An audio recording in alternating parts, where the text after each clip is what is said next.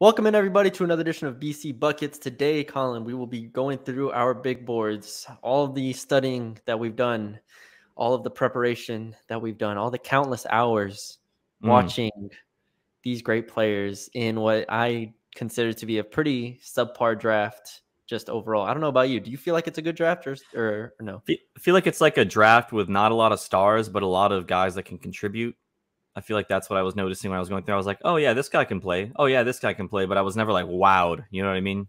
Yeah, it's it's definitely not those. Like I was going back and looking through old draft, and I was like, it says this definitely isn't a Trae Young, Luka Doncic, DeAndre Ayton draft. You know, you, right? You didn't feel that, or even Jaren Jackson was in that draft too. Like it doesn't feel like that. Not even a last year's draft. I mean, yeah, I'd have to think about I'd have think about comparing those. But anyways, uh, uh, there is still a, you know a top four, you know, consensus top four that could all pop into be all stars. Um, and beyond that, you know, you have some hit or miss guys. So I don't want to say it's a bad draft, but it doesn't feel like the best draft. But regardless, it's we're gonna go through our top 30, right? We decided top 30 on our big boards. We're gonna go me first and then you. Uh, we'll have the list on the screen as we read through them, or of players flashing through as we read through them to help visually aid this experience.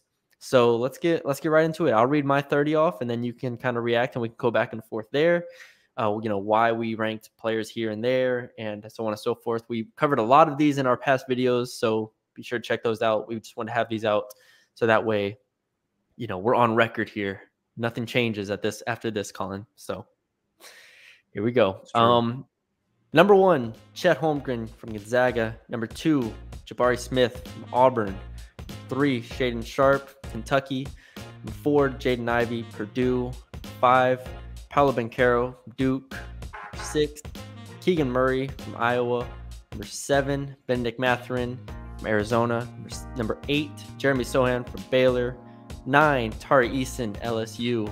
10, AJ Griffin, Duke. 11, Jalen Duren, Memphis. 12, Johnny Davis, Wisconsin. 13, Blake Wesley, Notre Dame. 14, Malachi Branham, Ohio State. 15, Ty Ty Washington, Kentucky. 16, Mark Williams, Duke. 17, Jaden Hardy, Ignite. 18, Ousmane Dieng from New Zealand Breakers. 19, Jalen Williams, Santa Clara. 20, Dalen Terry Arizona. 21, MarJon Beauchamp, Ignite. 21, I'm sorry, 22, Dyson Daniels, G League Ignite. 23, Walker Kessler, Auburn. 24, Justice, Justin Lewis, Marquette. 25, Wendell Moore, Duke. 26, Kendall Brown, Baylor. 27, Bryce McGowens, Nebraska. 28, David Roddy, Colorado State. 29, Jake LaRavia, Wake Forest. And 30, EJ Liddell, Ohio State. Okay. There's Interesting. There's there's a few there's a few names in there where I'm like, hmm. But uh we'll get to that, I guess, after mine. Um all right, so my one through 30. Uh, we'll just start Paolo Banchero, Duke. Uh, Jaden Ivey, Purdue. Number three, Chet Holmgren, Gonzaga. Number four, Jabari Smith at Auburn. Number five, Shaedon Sharpe from Kentucky. Number six, AJ Griffin from Duke. Number seven, Keegan Murray from Iowa. Number eight, Jeremy Sochan Baylor. Number nine, Johnny Davis, Wisconsin. Number 10, Bennedict Mathurin, Arizona. Number 11, Jalen Duren, Memphis. Number 12, Blake Wesley, Notre Dame. Number 13, Mark Williams, Duke. Number 14, Malachi Branham, Ohio State. Number 15, Dyson Daniels, Ignite. Number 16, Tari Eason, LSU. Number 17, Ousmane Dieng, uh, New Zealand Breakers. Number 18, Ochai Agbaji, Kansas. Number 19, Jalen Williams, Santa Clara. Number 20, Jaden Hardy from the Ignite. Number 21, Ty Ty Washington from Kentucky. Number 22, EJ Liddell from Ohio State. Number 23, Kennedy Chandler, Tennessee. Number 24, MarJon Beauchamp, Ignite. Number 25, Walker Kessler from Auburn. Number 26, Trevor Keels from Duke. Number 27, Bryce McGowens from Nebraska. Number 28, Christian Braun from Kansas.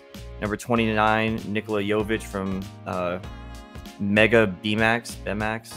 And then Jake LaRavia from Wake Forest as number 30. Let's start at the top because okay. our top four is basically inverted here. You have Paolo Banchero and Jaden Ivey 1 2. I have Chet Holmgren, Jabari Smith 1 2. You have them 3 4.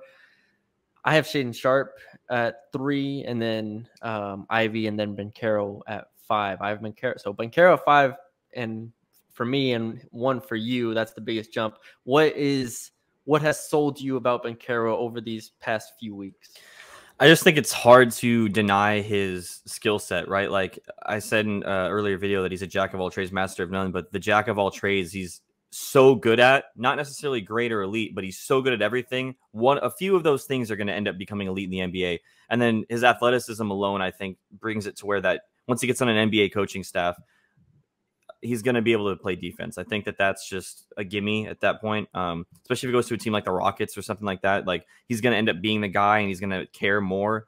Um, so I think that that's that's why he's number one. He's he's the guy in the draft with the best skill set and really no holes unless you're saying it's from a lack of effort standpoint.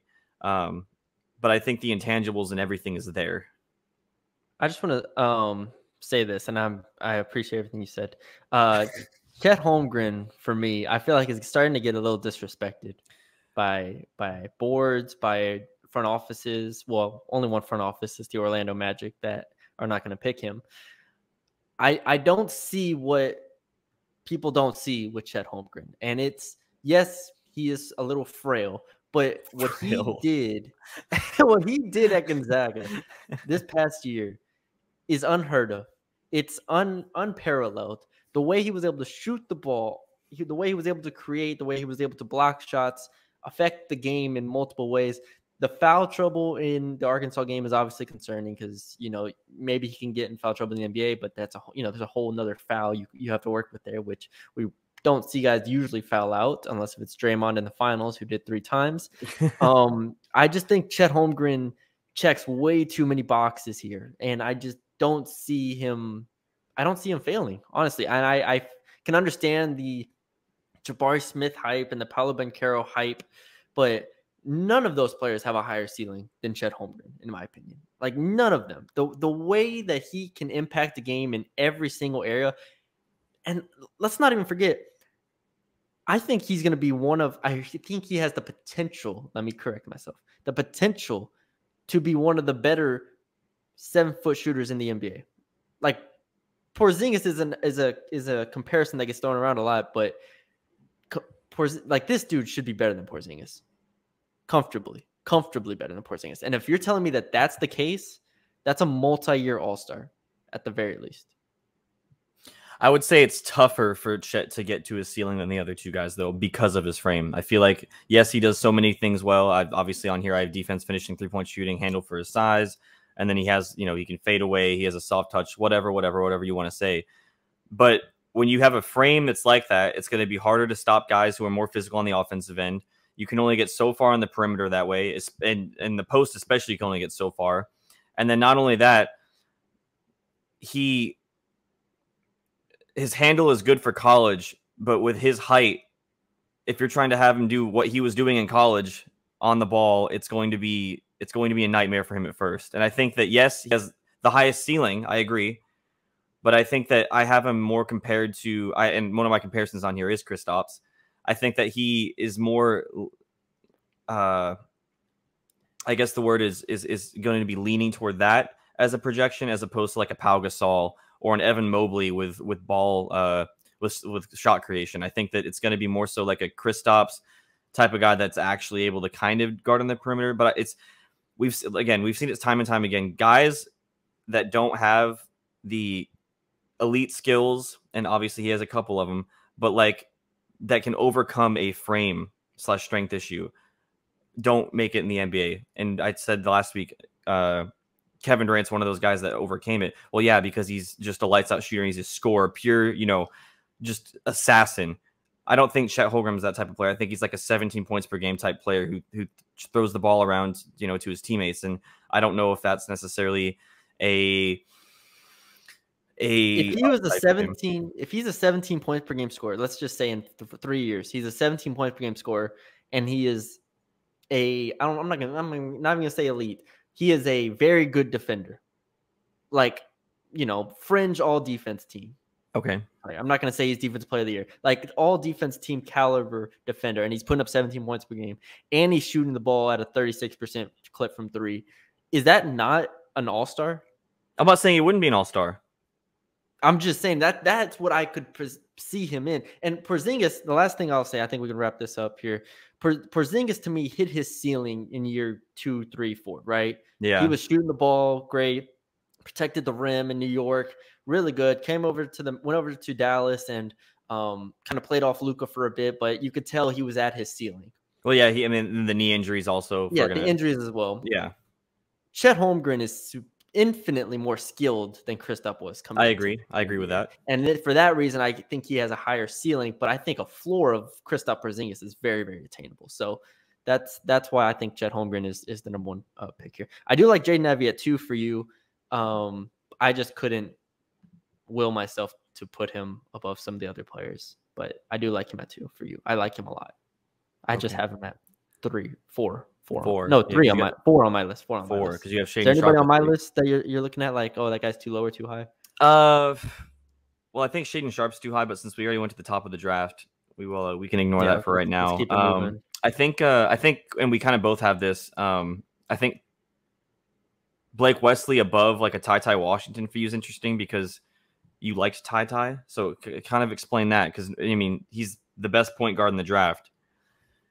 I'm trying to see where you have Ty Ty. You have Ty Ty at 21. Yeah. Blake Wesley at 12. Yeah. And I have Ty Ty at 15, Blake at 13. Yeah. So you're asking why I have Blake above Ty Ty? Yeah. The the offensive upside I think is just way way higher for Blake Wesley. Now the floor I think is lower, but Ty Ty Washington is not.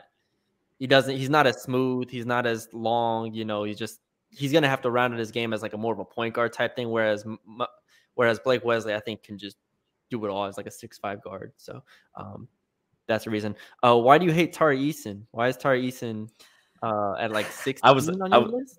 He's uh, I, I, let me see where he's on my list. I, I, I, just 16. I just moved him down to 16 from somewhere. You just uh, moved him down to 16. Okay. Like not like not through the video, but like when I today when I was going through, I was like, yeah, I don't think so. Um, no, I mean, I have him at nine. Yeah, I know. I was going to ask you about that. So for Tari Eason, for me, it's it's a situation of he has the physical attributes and the hustle, and you know, obviously defensively, he's a defensive stopper. I just don't see the basketball IQ at the next level doing anything for me. I think that that would end up limiting a lot of his game. I think that it's going to be tough for him to be anything other than a defensive stopper.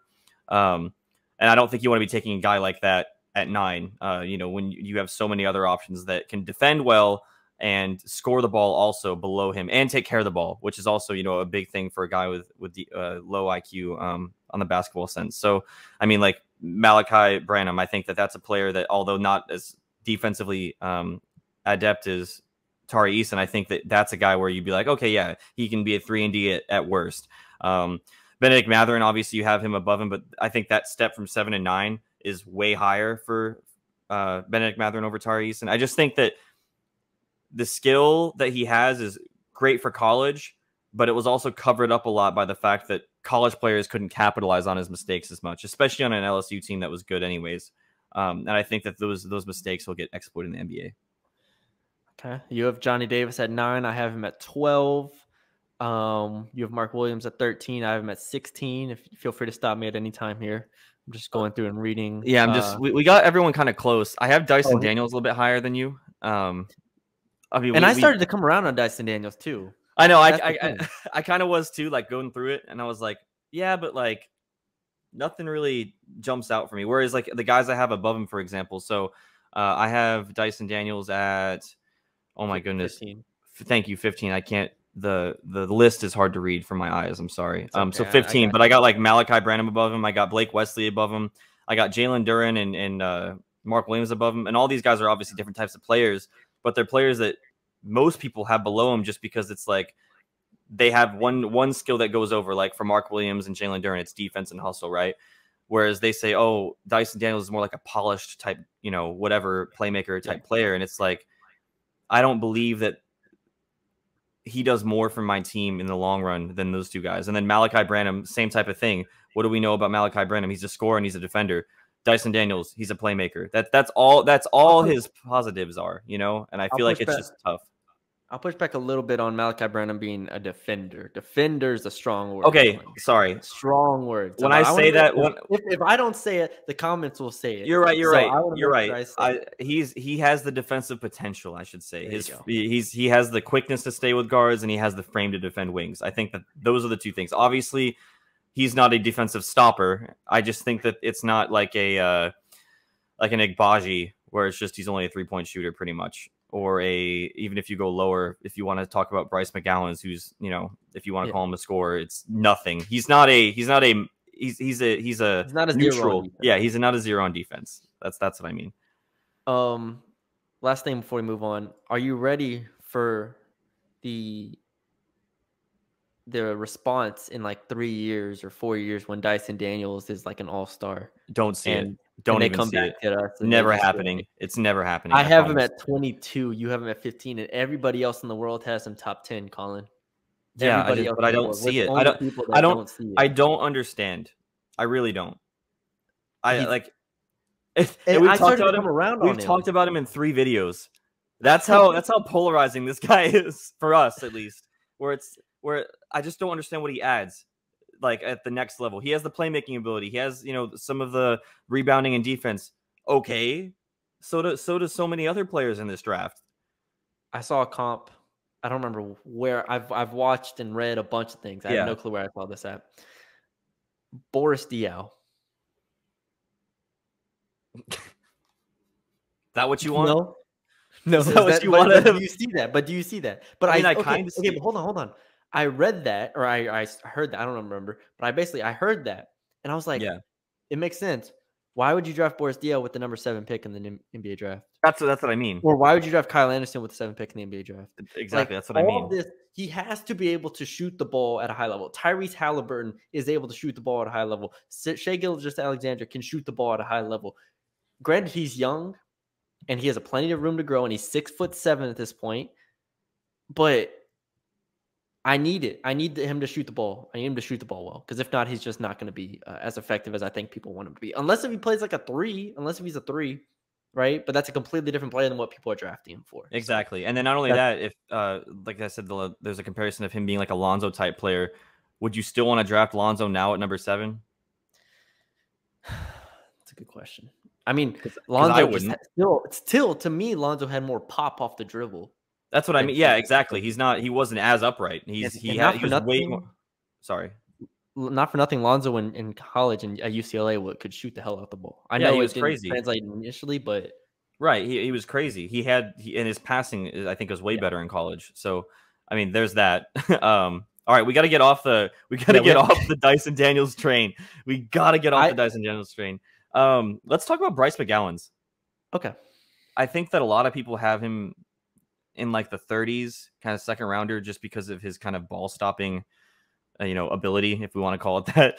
Um, yeah. But I loved his scoring ability. I think that that was, I mean, I, I just think it was, it, he's just a natural scorer. And I think that that's amazing for, for being a freshman.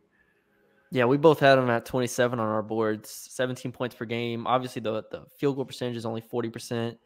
Um, but he was a fearless guy who, uh, when he drove when he drove the ball. He has catch and shoot potential. Um, I think he just has a lot of tools that will take some refining. But at 27, you know, if he goes late in the first round to any, you know, fill in the blank here, uh, to a team that is in playoff contention, I think you give him two years. And at 21, I mean, if he takes the proper steps forward, I don't see why he can't be a microwave scorer at the very least. You know, a guy who can come in and navigate the floor, has long arms, has a really long frame, shot 83% from the free throw line, got to the line six and a half times per game at Nebraska, which Nebraska was god awful this past year. Yeah. Um, yeah, I mean, you're right. He doesn't play defense, but it's going to take time. I think we see guys like Will Barton. I heard Will Barton, and I was like, that's a great comp, right? There. I have Spencer Dinwiddie as my comp. There you go. I think that's a pretty good too. So yeah, I, I like Bryce McGowens late in the first round uh, as at like a 27 range, and I think that's just because the floor on him is a little bit lower than than guys I have above him. Well, teams, especially teams that are picking this area, they're not looking for a player to instantly make them better. You're looking for, I think, if, if you're picking this late, you need to look for a project player. Um, and I think that he has skills that are just, you know, second to none. I mean, he has he he can score like guy anybody in the draft outside of the top, you know, five. But I think that, like you said, it's just you got to put him at 27 because every he's just nothing other than a scorer, right? so yeah. Um, but I think that it, it, bodes well just the fact that he can score at such a young age. Um, Another guy I want to talk about is Christian Braun. Um, I love I him. I think it's Brown, but Brown. Yes, I love despite the way it's the but despite the way it's spelled. Yeah. Yeah, I'm gonna need his parents to change that. Um, but I think that this guy is gonna be in the NBA for a long time. I mean, I think it. I think I. I, I don't know why he's so low on a lot of boards. I have him at uh, 29, 28. Um, I just think he's gonna be like a Wes Matthews type guy, where he does all the little things as an overachiever. Um, and on top of that, he has you know body control. He has some bounce. He can get up, and I think he can guard one through three. Um, and I think the fact that he's a master of none kind of hampers him a bit, but he helped Kansas win a championship, and yeah. I think that that's also raises his stock. It uh, I have down Donte DiVincenzo as a name to to write down. I think it like a lot of these players, you know, a lot of like a lot of these guards late, it comes down to his three point shooting. You know, mm-hmm. if he can shoot the ball at a 38% 38% clip. Hell, we saw Grayson Grayson Allen start for the Bucks, obviously with injuries, but I mean, if you can shoot the ball and play a little bit of defense, you can stick in the NBA. And he's six six, you know, which is good. Um, another player, which I, I want to just talk about a couple more players that we've, you know, didn't get to talk to in the talk about in the other videos. Uh, well, we did talk about this player, but then we'll get to another one. Ochai Agbaji, I have you have at 18. I have at oh 31. no. Oh no. 31. And I've I've seen mock drafts that have him going 10, Colin. Okay, 10's way too high. I 10. I think 10. where I have him is perfect just because you can't you can't not buy a shot, right? Um and a lot of teams would take just that, just a shot. You you talked about in the video where you were knocking him Duncan Robinson. Obviously, in the playoffs, that doesn't really translate, but you're not looking for a guy to be the leader of your team. He's just there to make threes. And I think that that's okay to draft at, you know, 15 through 20. Okay. Yeah, I mean, he'll definitely go that high. I just don't don't love him. Um, another player here. What do you think of EJ Liddell? I love EJ Liddell. He's like a like a Paul Millsap type player to me. This dude, he's got he got he's got listen, when you got a six seven dude that's 240 pounds, he's got it. I don't know. It, yeah, yeah, yeah. I think, I think, I think he does a lot of things really well. Obviously, his shooting form is going to be the biggest thing that decides if he's going to be good in the NBA. Um, you know, he kind of throws his arms and legs out. His arc is really shallow, especially if he's contested, and there's obviously he doesn't jump really high. Um, but I think that he does so many things really good, and he grew so much from uh, the, over yeah. the last three years, uh, which is the biggest thing for me, which shows that he's a cerebral player, right? So made huge strides he punishes defenses, you know, with kick out passes, and he, he has a good feel for for the game. And then he knows how to steal as man and make defenders pay at his height. And obviously, he's not going to be playing center uh, at the next yeah. level, but I think he can play a kind of a, I mean, like a Paul Millsap type guy. Um, you know, he's rough. He's rough around the edges. He's older. I get it, but I think that he's going to be a better pick than some of the other guys that are lower, like Walker Kessler. I already knocked him. Uh, Kenny Chandler, you know, MarJon Beauchamp. I think that he has a lot of refined skills that you can't really teach in the NBA. Um, it's just a matter of getting making sure that shot falls. I think that's the biggest thing. Yeah, uh, you mentioned him. You have Kenny Chandler at 23. I have him at 37. That's pretty so, low. There you go. that's pretty low. I, yeah, no, I'm not. I'm not buying Kenny Chandler. In short, I'm not buying it. Uh, anybody else here? We got. Uh, what do you think of Patrick Baldwin Jr.? That's an interesting name here. He's at 32. He, yeah, we did, not, we did not mention him. Like, I have him at 34. What do you think? yeah, that? like former supposed to be top five pick to. Yes. I actually watched him at EYBL in Dallas a few years ago. Yeah, and I was like, man, yep, this guy's a top five pick. yeah, six ten can shoot the hell out the ball, and is like was just lighting it up. And then he goes to Milwaukee, and you're like, okay. And then he got hurt. Yeah, so I think a big part of it is him getting hurt. Um, and unfortunately, it doesn't look like he's getting that athleticism back, which is obviously his biggest thing. Is he can't drive and finish. He has no first step, and when he's playing against competition that's not top tier, when you're playing at a Milwaukee school, that also hurts him. I mean, I think the scoring shooting potential is there. He obviously still has the step back and side steps. Um, he has good elevation and high release on his shot. And then he also has some, you know, some nice flashy playmaking game. But I think that outside of that, he's slow. It's, you know, you can't be a guy that creates his own shot and is really slow. Um, and then on defense, if you can't defend guys that aren't top tier again, you know, what's that gonna the step up's gonna be so much more in the NBA. It's not, it's you're not going, it's not like going from mid major to D one, I mean, uh, to high major. It's going, you're going to the NBA. And, you know, the scoring and shooting potential can only go so far. Um, but I think he's a good project player, you know, and it, that's that's the tough thing. Uh, how do you rate that ankle injury he had?